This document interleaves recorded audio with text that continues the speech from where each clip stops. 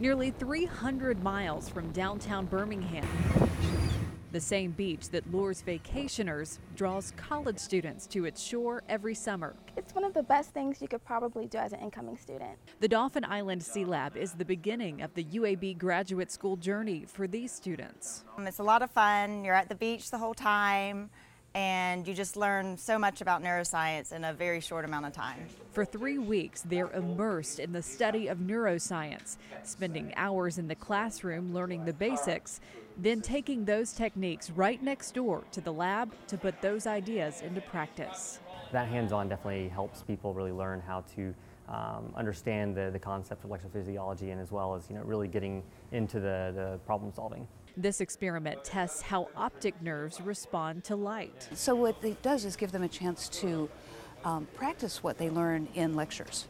Um, so they get a chance to to see what neuro- neurophysiological responses are. They get to see action potentials. They get to see um, light responses. So they really get to see what all this stuff looks like outside of a book. So we're looking at the outputs of these neurons because neurons communicate via electrical signals. So we're kind of looking at how they generate these electrical signals and what that uh, kind of means when they're communicating with each other. I'm planning to use that in the lab back at UAB, and so just learning this technique has um, really helped with my research.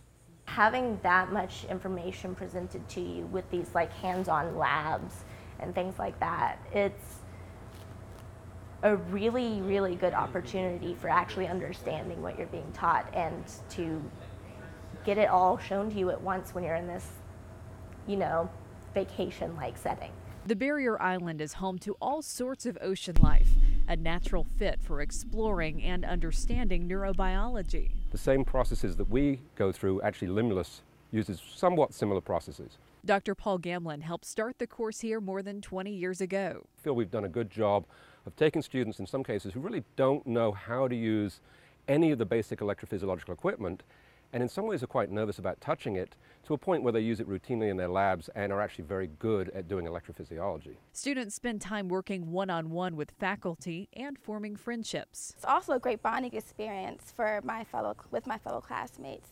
And it's always nice to get to know who you're going to be with for the next five or so years. It's a relationship and a bond that you'll build with uh, the rest of your class that really makes a difference for the rest of your um, time in graduate school, I think. These students take what they learn in Dauphin Island wherever they go. It's a really great experience. i do think it's going to be something that i remember fondly It's just a relaxed environment here, which is nice and it's easy to, to learn. We work really hard, but you're at the beach. It's a gorgeous place to be, and it's a life changing experience.